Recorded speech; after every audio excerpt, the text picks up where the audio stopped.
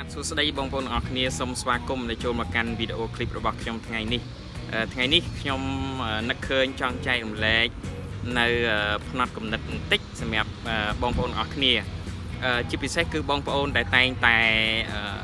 ឮសូរត្អូញនៅក្នុងខមមិនរបស់ខ្ញុំថាអឺមានការអអន់សពុនចិត្តទៅនឹង fan របស់បងប្អូន មានខមមិនមិនល្អក៏ដូចជាមានអឺ ការរិះគន់មានការទីទានទៅលើ content របស់បងប្អូនទៅលើវីដេអូរបស់បងប្អូនអឺជាទូទៅសម្រាប់ខ្ញុំខ្ញុំនៅតែលើកទឹកចិត្តឲ្យបងប្អូននៅតែបន្តកិច្ចការរបស់បងប្អូនជានិច្ចដោយសារតែហេតុអីអឺនៅក្នុងលោកយើងនេះគ្មាន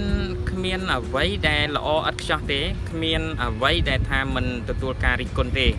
ប៉ុន្តែចំណុចសំខាន់ដែលតើយើងធ្វើយ៉ាងណាដើម្បីគ្រប់គ្រងការរិះគន់ទាំងអស់នោះធ្វើយ៉ាងណាដើម្បីទប់ស្កាត់កុំឲ្យអ្នកទាំងអស់នោះគាត់នៅតែបន្តរិះគន់បន្ត comment នៅ comment មិនល្អនៅលើ channel របស់យើងបន្តទៅទៀតបាទអឺការ comment ដែលមិនល្អឬក៏ការរិះគន់ដែលមិនល្អហ្នឹងគឺវាអាចប៉ះពាល់ដល់អារម្មណ៍របស់បងប្អូនអរគ្នាទាំងខ្ញុំទាំងបងប្អូនអរគ្នាមិនសូវចូលចិត្តប៉ុន្មានទេ បាទចូលចិត្តតែគេបញ្ជោច្រើនជាងនេះគឺជាអារម្មណ៍ពិតរបស់មនុស្សអញ្ចឹងឯងត្រឡប់មកវិញការរិះគន់គឺយើងចែកជាពីរគឺការរិះគន់ដោយបែបស្ថាបនានិងការរិះគន់ដោយបំផ្លិចបំផ្លាញការរិះគន់បែបស្ថាបនាគឺយើងទទួលយកយើងសិក្សាស្វែងយល់ពីកំហុសរបស់យើង នៅពេលដែលនរណាម្នាក់រិះគន់មកលើយើងឬក៏នរណាម្នាក់គាត់ខមមិនទៅលើវីដេអូរបស់យើង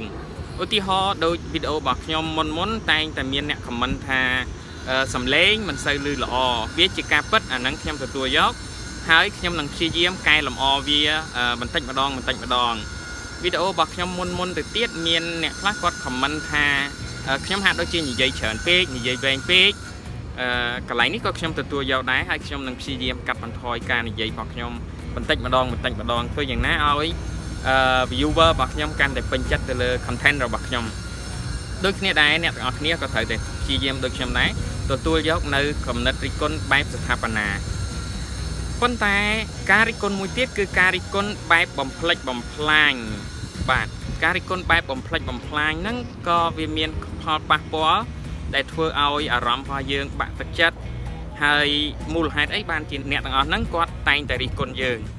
គឺអឺ ការរិះគន់ដែលបែបបំផ្លិចបំផ្លាញហ្នឹងគឺគាត់គេហៅថាជំនាញអាជីពរបស់គាត់គឺដោយសារតែគាត់មិនពេញចិត្តនឹងយើងដោយសារតែគាត់មិនស្មើនឹងយើងដោយសារតែគាត់ធ្វើអ្វីអ្វីមិនដូចយើងនេះគឺជាការរិះគន់បែបបំផ្លិចបំផ្លាញហើយថាតើធ្វើយ៉ាងណាដើម្បីអាចទប់ទល់ទៅនឹងការរិះគន់បែបបំផ្លិចបំផ្លាញនេះបានអ្នកនរគ្នាត្រូវចាំថាអឺបើសិនជាអ្នកនរគ្នាចង់ ទប់ទល់ឬក៏ចង់ទប់ស្កាត់ទៅនឹងការរិះគន់ទាំងអស់នេះដើម្បីកុំឲ្យគាត់អឺរិះគន់បងប្អូនបន្តទៅទៀតវិធីសាស្ត្រមានច្រើនប៉ុន្តែខ្ញុំលើកបទពិសោធន៍របស់ខ្ញុំអឺទី1គឺអ្នកនរគ្នាគ្រាន់តែសម្លឹងភ្នែករបស់គាត់ឲ្យចំនៅពេលដែលជួបគាត់ហើយនិយាយថាអរគុណបាទវិធីសាស្ត្រមួយទៀតដែលសាមញ្ញនោះគឺអ្នកនរគ្នាបើសិនជាគាត់ឈប់មករយៈហើយមកបន្តរិះគន់របស់អ្នកនរគ្នាទៀត អ្នកនរគ្នាគ្រាន់តែប្រើពាក្យសាមញ្ញមួយទៀតថាអរគុណណាស់ដែលបានផ្ដល់ដំបូន្មានឲ្យខ្ញុំប៉ុន្តែខ្ញុំមិនខ្វល់ទេនេះគឺជាពាក្យដែលឈឺចាប់បំផុតសម្រាប់អ្នកដែលរិះគន់ហើយយើងនឹងបកត្រឡប់ទៅគាត់វិញបែបវិធីនេះប៉ុន្តែវិធីនេះប្រហែលជាធ្វើឲ្យគាត់ឈឺចាប់ហើយលែងរិះគន់មកយើងជារៀងរហូតត្រឡប់មកវិញនៅលើ content របស់បងប្អូនអរគ្នាក៏ដោយនៅលើវីដេអូរបស់អ្នកនរគ្នាក៏ដោយបើសិនជាមានអ្នកដែលរិះគន់